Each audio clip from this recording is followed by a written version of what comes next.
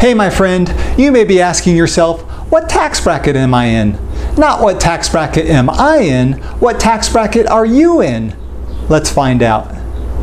Hey, this is Matt from Let's Not Be Fools, and I just wanted to make a quick video about tax brackets. When people say I'm in this tax bracket or that tax bracket, they're really talking about I'm in this marginal tax bracket, this one or that one, because we really pay taxes on the margin in the US. And I'll explain that looking at our little chart here. So here we have a chart of the United States 2019 federal tax rates. In this table I've included the tax rates for the single person, for the married filing joint returns, and for the heads of households. So in the US, we do not have a flat tax we are taxed on a marginal tax rate basis. So a certain amount of dollars are taxed at one rate, and then a next set of amount of dollars are taxed at another rate. So when you say you're in the 24% tax bracket, that doesn't mean you're paying 24% on all of your income. You're paying 24% on a certain amount of your income, and the income below that, you're paying a less of a rate.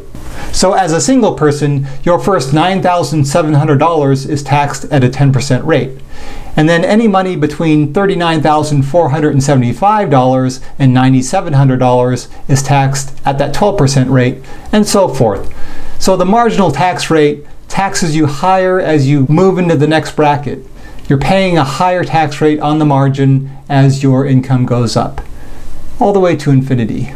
Wouldn't that be nice? That's for the single person. Of course, you extend those same tax rates over to the married filing joint returns column and the heads of households column. And you can see that those rates are a little bit different because of the way the government set it up.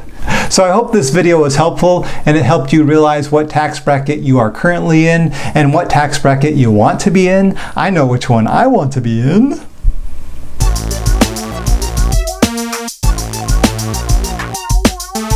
Anyway, be sure to subscribe if you like these videos. I would appreciate it, and have a great day.